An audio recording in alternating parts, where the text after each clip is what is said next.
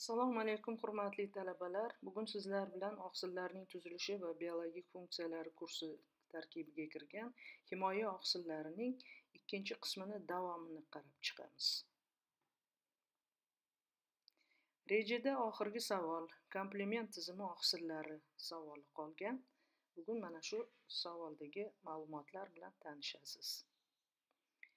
Komplement tizimi oqsillari Komplement tizimi antigenni antitana bilan o'zaro ta'sirlashuvi jarayonida immun javob uchun mas'ul bo'lgan qon va e, qon e, plazmasi tarkibida har doim mavjud bo'lgan fermentlar o'ttizta murakkab oqsillar tizimidir. Bu tizim organizmni begona agentlardan gumoral himoya qiluvchi proteolitik fermentlarning kaskad tizimi ham deyiladi.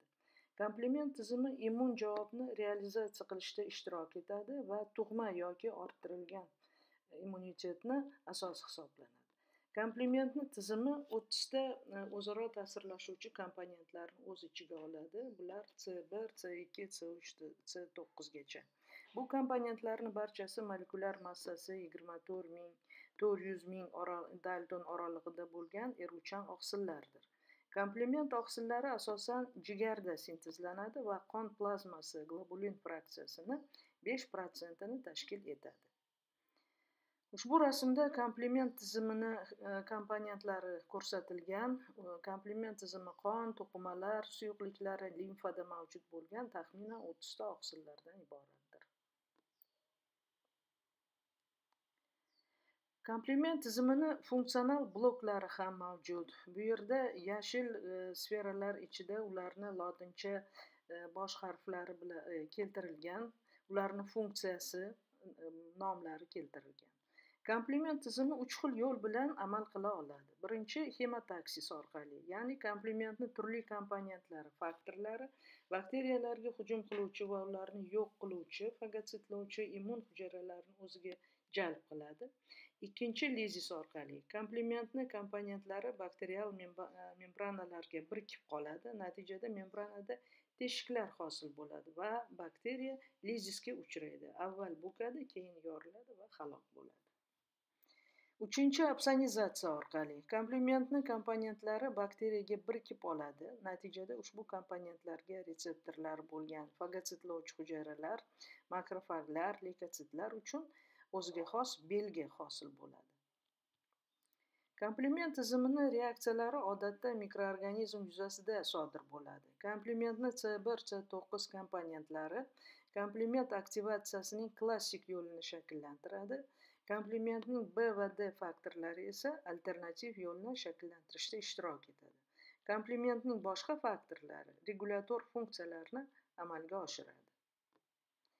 Komplement tizimining ishlash sxemasi quyidagi rasmda keltirilgan bu yerda alternativ yo'l klassik yo'l va lektin yo'llari ko'rsatilgan va bu yo'llarni oxir oqibati shundan iboratki e, bakteriyalar e, ta'sir etgan e, hujayralar patogen bakteriyalarni hujayralari halok bo'ladi.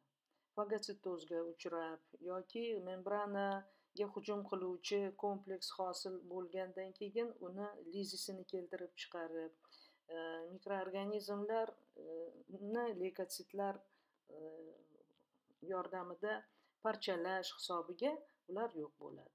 Komplement tizimining dastlabki komponentlari serin proteazalar bo'lgan. Ular fermentativ reaksiyalar kaskadini ishga tushiradi hujayrada.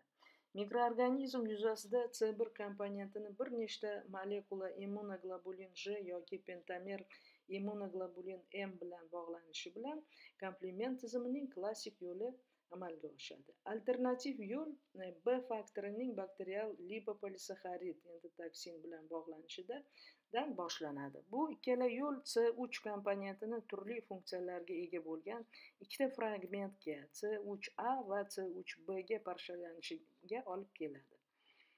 Komplement oqsillarini proteolitik qayta shakllanishi yoki parchalanishi ushbu rasmda keltirilgan. Oqsil molekulasidan fragment ajralib chiqishi noaktiv oqsilni aktiv oqsilga aylantiradi. Xuddi c uch a va c uch b kabi yangi funksional aktivlik paydo bo'ladi.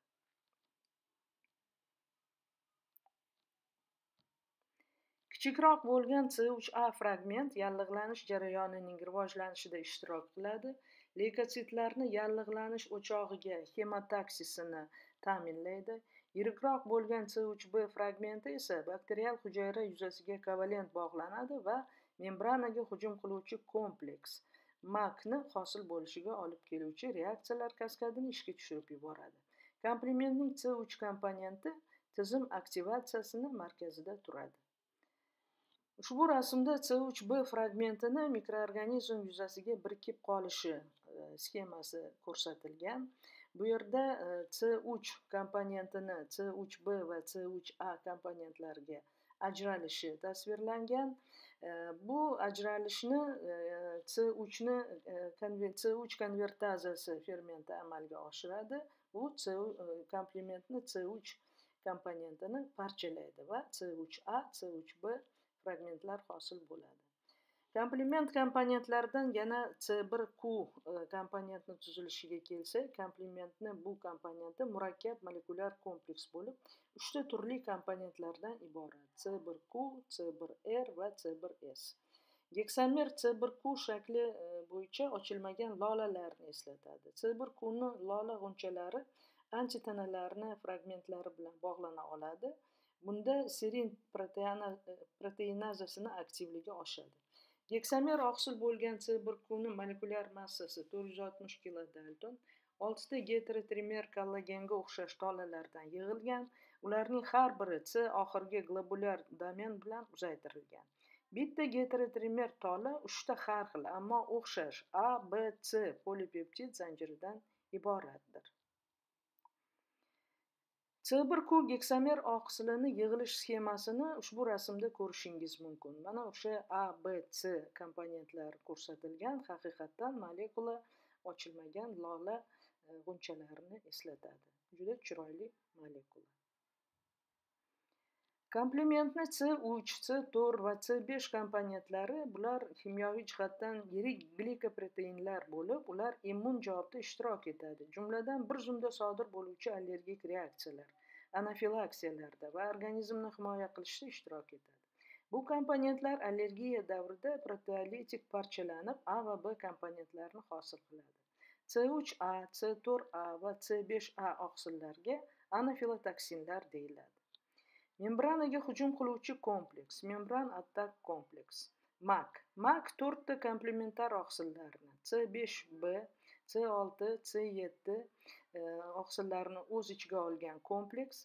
Mak patogen bakterial hujayralar yuzasida komplement sistemasini aktivatsiyasi natijasida hosil bo'ladi. Mak e, teshiklarni transmembran kanallarni shakllantiradi. Ushbu kanallar nishon hujayralar membranasi strukturasini yaxlitligini buzadi va ularni avval lizisiga va so'ngra halok bo'lishiga olib keladi. Mana ushbu rasmda membranaga hujum qiluvchi kompleksni sxematik tarzda e, tasvirini ko'rishingiz mumkin. Birin ketin yig'ilayotgan c besh c olti c yetti c sakkiz c to'qqiz e, e, faktorlari birlashib teshik hosil qilishi ko'rsatilgan. Membranaga hujum qiluvchi kompleks tarkibidagi premak c besh b yetti c besh b sakkiz yoki c besh b to'qqiz kabi komponentlar agar membranaga birika olmasa ular noaktiv komplekslarni hosil qiladi. Bu noaktiv komplekslar suyuq fazada hujayra membranalar bilan bog'lana olmaydi va oqibatda komplement sistemasini ikkita tozalovchi fermenti e, tarafidan yo'q qilinadi. Shunday qilib xulosa shunday qilib komplement tizimi oqsillari juda murakkab va evolyutsiya davomida organizmda spetsifik vazifalarni bajarishga moslashgan biomolekulalardir ularni bilish va biologik e, funksiyasini o'rganish juda muhimdir. Shuning bilan bugungi e, video darsimiz o'z nihoyasiga yetdi. E'tiboringiz uchun rahmat. Sizlar bilan sog'lik omonlikda ko'rishish nasib qilsin deb qolamiz.